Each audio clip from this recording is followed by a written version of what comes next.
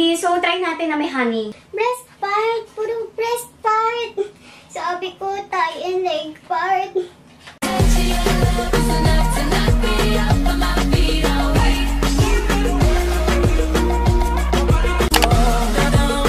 Hey guys, it's me again, Naomi. Sobra ko excited ngayon guys kasi ito, magmumukbang na naman tayo at ang imumukbang natin ay ito, Popeyes Louisiana Kitchen. Basta yun guys, so ito yung mumukbang natin, yung Popeyes. Nakabukas lang nito nung May 16. So, kanina nagpabili ako doon sa rider namin at sobra daw talagang haba ng pila. As in, 3 hours talaga siyang pumila doon. So, yan, meron tayo ditong 6 pieces ng chicken. Then, meron din tayo yung kanilang Cajun fries, mashed potato, chicken burger, Cajun rice, then yung kanilang biscuits, tapos meron din tayo ditong spaghetti. Tapos may kasamang sauce, ah, meron siyang ah, honey, tsaka ketchup. Nahanapan ko kanina ng gravy to, pero wala eh. Walang binigay sa akin na gravy. So yan guys, start na tayo kasi kanina pa ako gutom. Grabe, sobrang gutom na talaga ako. Actually kanina, inuna kong i-film yung KFC Choco, tsaka yung McDonald's na milk tea. Spaghetti muna, haluin muna natin. Spaghetti. Mm.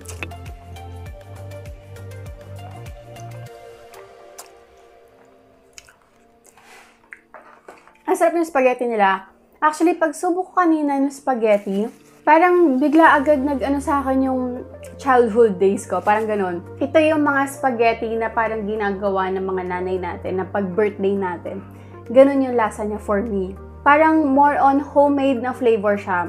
Unlike sa McDo na medyo maasim-asim at sa Jollibee na manamis-namis, ito parang ito yung spaghetti na parang homemade ang dating, yung lasa niya. So dito ako excited sa chicken nila. Wala siyang gravy, so try natin na may honey. Pero tikman natin muna pag walang sauce.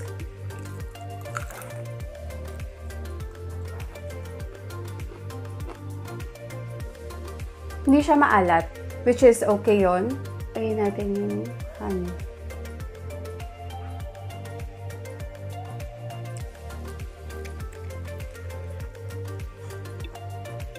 Mm. Okay pala ang honey sa chicken ah. Masarap siya. Okay, kung i-compare ko yung chicken ng Jollibee dito sa chicken ng Popeyes, ang Jollibee kasi sobrang linamnam niya. Yung tipong kakain ka ng mga tatlong pirasong chicken, umay ka na, ganon. Dito sa Popeyes, hindi. Hindi siya malasa.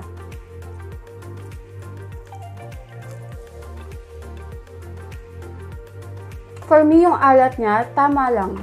Pero ang problem ko is yung sa skin niya, hindi siya ganun ka-crispy. O baka kasi kanina pa to. Hmm? Hindi siya crispy, malambot. Pero yung lasa niya, for me ah, mas pipiliin ko yung Popeyes over Jollibee. Kasi sa Jollibee parang hindi ko kayang kumain ng mga sobrang daming chicken eh. Pero ito, hindi siya ganun kalasa. Sarap ng honey. Sarap pa rin honey.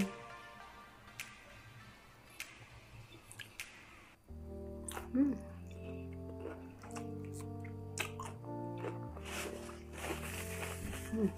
Kung try natin yung rice nila. Cajun rice. So, dapat maanghang siya. Ang Popeyes, hindi siya masyadong maalat talaga. Halos lahat ng food. Ito natitikman ko, spaghetti, chicken, rice. Wala siyang alat. Hindi rin siya bland. For me, tama lang yung ano niya, yung lasa niya. Pero parang kulang siya ng lasa ng Cajun, yung spice. Ito, Cajun fries. Kalasa niya yung KFC na french fries. Ito, sabi nila masarap daw kasi mashed potato. Hmm. Parang KFC lang na mashed potato. Chicken burger. Hmm.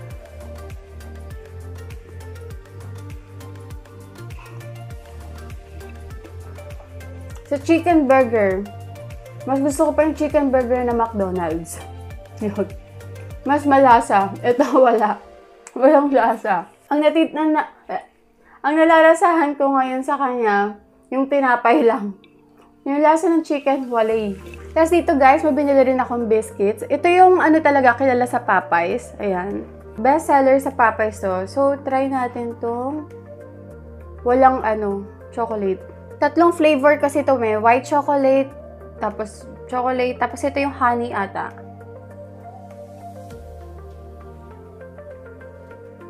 Oh, kaya may ganito para dito. Ayun. Hmm, sarap ah. Yung flavor niya sa akin parang buttery. Hmm, masarap pag may honey. So ito guys, hindi ko uubusin yung chicken. Kasi magagalit sa akin si Popoy pag inubos ko. So, kailangan ko siyang tirhan nito. Tsaka nitong biscuits. Ayan. So guys, kanina pala, nag-post ako sa community. Humihingi ako ng suggestion kung anong gusto nyong i-topic ko para sa mukbang today. At halos lahat sa inyo ang gustong topic ko ngayon is about YouTube. So ako kasi guys, nag-start ako noong September 2018. Last year. So, ang una kong content kasi, dahil nga chef ako, ba So, ang una kong ginawang video is yung cooking video.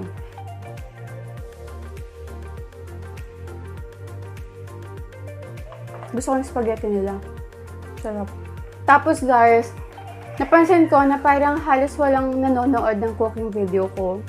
Kasi nga bago lang ko and sobrang struggle sa akin na magkaroon ng 1,000 subscriber kasi First is yung aking Instagram account. So guys, kung hindi pa kayo nakakapag-follow sa aking Instagram account, ayan, it's me, Naomi P. Follow nyo na ako. Yun nga, yung nasa Instagram ko, yung followers ko noon, mga nasa 700 lang, which is my friends, my close friends, and family, ganyan. Yun lang.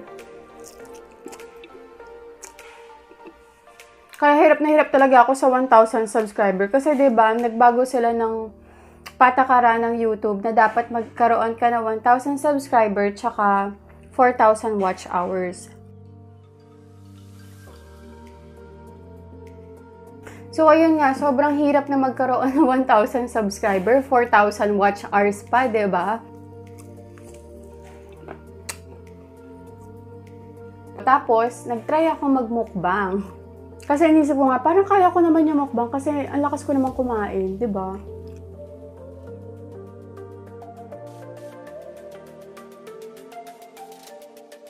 Yung first mukbang ko is yung uh, liempo. Pero hindi pa rin dumami yung viewers ko noon, yung time na yon. So wala, continuous pa rin ako na nagmumukbang kasi na-enjoy ko rin naman kumain, di ba? So yan, tinuloy-tuloy ko yon Tapos, ang pinaka-first talaga na nag-trend sa akin na na mukbang video, na doon do, na doon nang galing yung mga subscriber ko noon, nung pagka 1,000 ko, is yung um, crispy pata mukbang.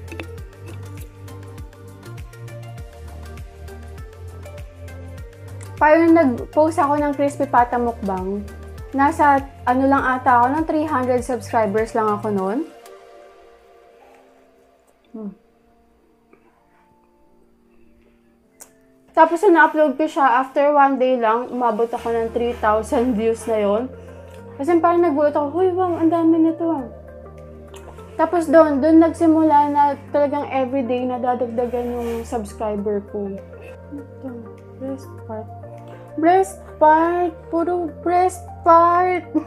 Sabi ko, thigh and leg part. Puro breast part. Isa lang yung leg. Ano ba? Hindi kasi ako nagbe-breast part, guys. Ayoko ng breast part kasi natadryan ako. Or, mag-wing part na lang ako. Arr. So, nag 1,000 subscriber ako guys noong February. Parang nung nag-start ako, 5 months after. Bago ako nagkaroon ng 1,000 subscriber.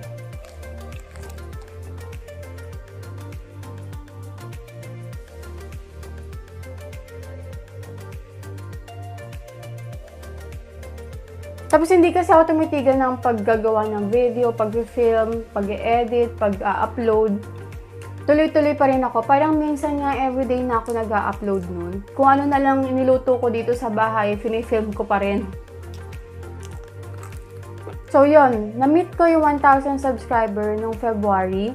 Tapos, after a week or after 2 weeks, yun, na-meet ko naman yung 4,000 watch hours. So, halos magkasunod lang din sila. Pero ang hirap, ang hirap talagang ma-meet yung 4,000 watch hours ah. Yun yung pinakamahirap. So, na-meet ko na siya, ba? Pero, may nangyari kasi sa account ko, sa Google AdSense. Hindi, parang, ang nangyari, nagtataka ko, ano nangyari? Bakit ganon? So, tinatanungan ko na sila, MJ, ganyan, ano, paano gagawin? Bakit naka, not enable yung, ano ko, monetization ko?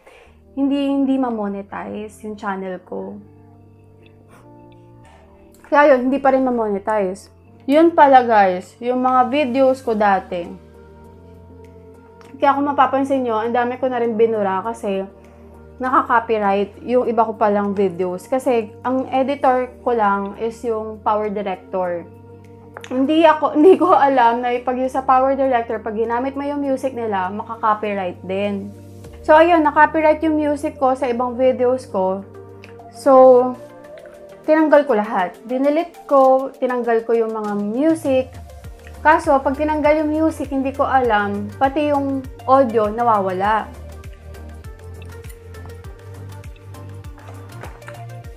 Kaya, dinilit ko na lang yung mga videos na na-copyright. Ang dami, ang dami nun. Inisip ko pa, hala, sayang, baka mabawasan sa watch hours ko. Pero guys, hindi. Hindi siya nabawasan sa watch hours ko. Masarap yung honey talaga sa chicken. Try nyo.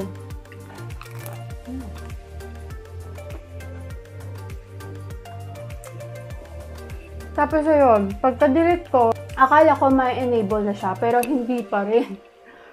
So, tanong na naman, anong, anong gagawin ko? Kasi sabi ko, ano kaya kung gumawa ulit ako ng panibagong channel, ganyan. Tapos sabi niya sa akin, wag, huwag mong gagawin niya, wag kang, wag mong papalitan yung channel mo, okay na yan. Gumawa ka na lang ng bagong Google AdSense account. So, thanks kay Mayor MJ, ayan, dahil siya yung nagbigay sa akin ng idea na ganon. So, gumawa ko ng Google AdSense account na bago para i-link ko dun sa YouTube account ko. So, yan. So, gumawa na ako ng bagong Google AdSense account. Tapos, pagkalink ko, after ilang days, parang kinabukasan, oh, kinabukasan nun, doon na nag-start mag-review yung Google sa account ko. Kasi nakikita naman doon sa account na we're reviewing, ganyan, ganyan. So, yun. So, kung itatanong niya sa akin kung gaano katagal bago ma-monetize, 2 weeks. 2 weeks ako nag-antay bago sila mag-email sa akin na okay na yung channel ko na na-monetize na nila.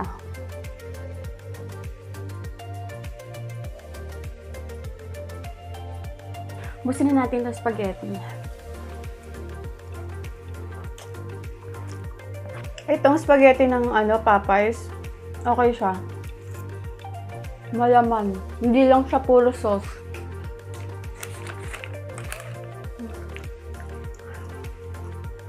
Pag lumamig na siya, tigas na. Nung pagka-receive ko ng email nila na na-monetize na yung channel ko, yun, minonetize ko na lahat ng videos ko na past. Kasi pwede mo naman ma-monetize yun eh. So, sa, para sa mga gumagawa ng channel dyan, ayan, huwag kayong mag-alala dahil yung mga previous na videos yung mamamonetize pa rin. So, okay lang kahit wag niyong burahin. Pero kung na-copyright yung video nyo, I suggest tanggalin nyo na. Pero guys, kahit na monetize na yung channel ko, hindi pa rin ako sumusweldo. Pero, na-meet ko na yung, pag ano kasi, $50 na yung revenue mo, doon sila magpapadala sa'yo ng PIN para ilagay doon sa Google AdSense account. So ako, na-meet ko na yung, yung revenue na yon kaya nagpadala na sila sa akin ng PIN. So, may na-receive na akong PIN ngayon.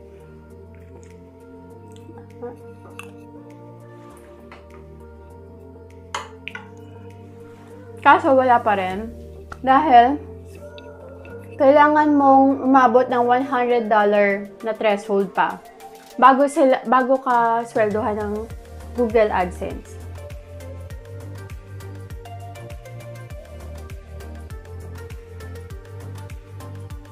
So parang guys, kahit na monetize ka na, hindi ka kaagad-agad talaga sa sweldo sa YouTube or sa Google. Kasi nga, may kailangan, may kailangan kang ma-meet na threshold talaga bago ka sumweldo. So, hindi siya ganun kadali. Kailangan mo pang gumawa ng madaming videos. So, ngayon, yung na-monetize yung channel ko, mga March eh. Ano na ngayon? May. Wala pa rin. So, ganun katagal bago ma-meet yung threshold na yon. Hmm. Hmm.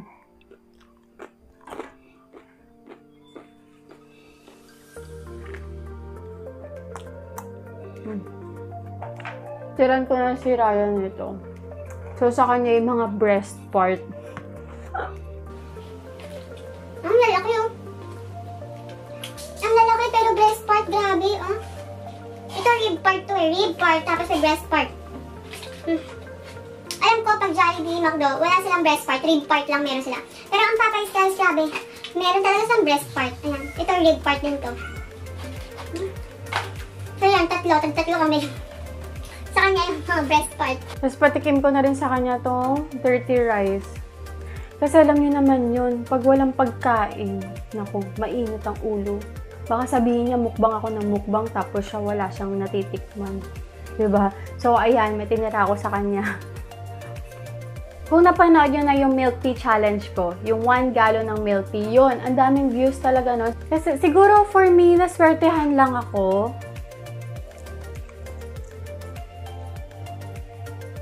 Hmm.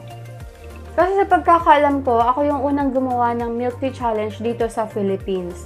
Kasi, napanood ko lang siya sa isang YouTuber sa ibang bansa. Si Ying Ge. Ayan. Di ko alam kung anong lahi niya, pero siya yung una kong napanood. Alam ko siya yung unang gumawa ng challenge na yun, yung drinking 4 liters. Kaya ako nga, sobrang hilig ko sa milk tea, kaya ginawa ko yung challenge din na yun.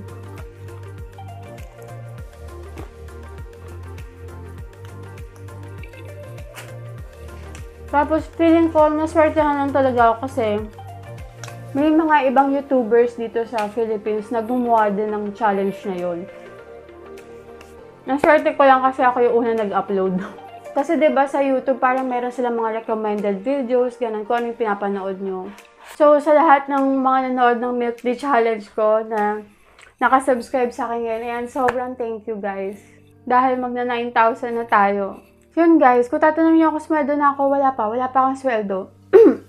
Tapos tinanong ko sila, MJ, paano ba yung next step? Ano ba yung next step after mong ma-meet yung threshold na $100? Sabi nila, mag email daw ang YouTube or yung Google AdSense pagdating ng 21. Ganun. Kasi parang every 21st or 22nd ata yung cut-off nila. Parang ganun.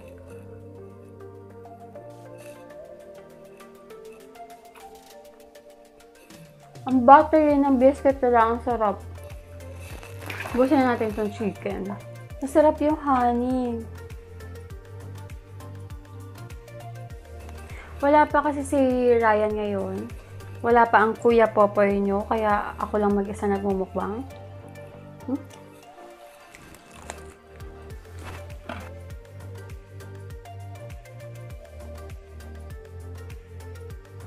Dahil nasa work pa siya. Hmm. Kaya tinirhan na lang natin siya ng food. Okay sa akin ng chicken ng Popeyes. Hindi siya nakakaumay. Hmm? Kahit nakatatlo na ako, hindi ako naumay.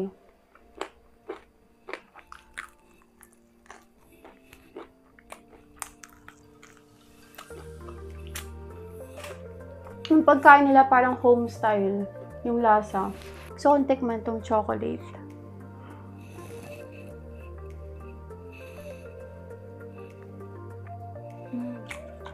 Sarap ng chocolate. Parang Nutella. Ginunti. Ginunting yung burger. Para matikman din niya yung ano. So, ito kainin ko. Ito. Patikim din natin kay Popoy. Ayan.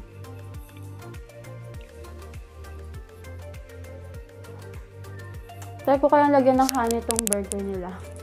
Baka sakali magpalasa.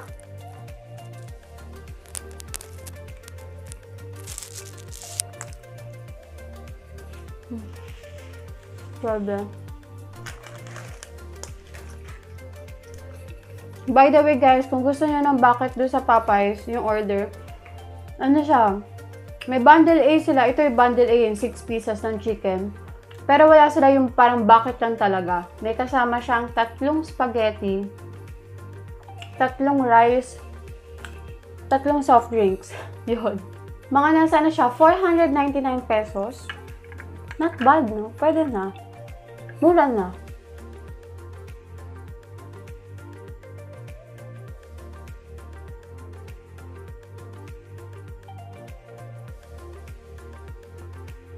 Feeling ko tong honey na to, para dito sa biscuit talaga yon.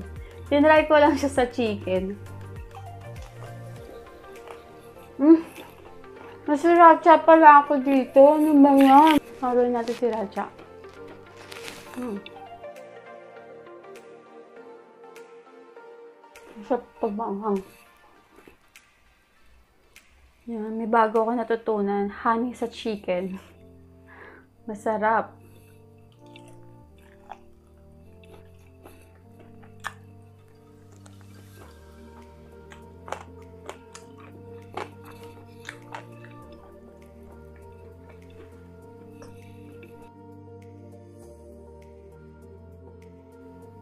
Yum.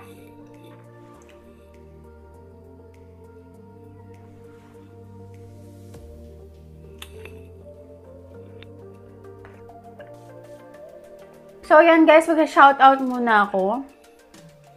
So, shoutout kay Cedric Soriano, Marcela Licuanan, Aliyah Marie Santiago, Jessica May, Kelly Nicole and George Leonico, Venice Marquez, Micaela Montesilio,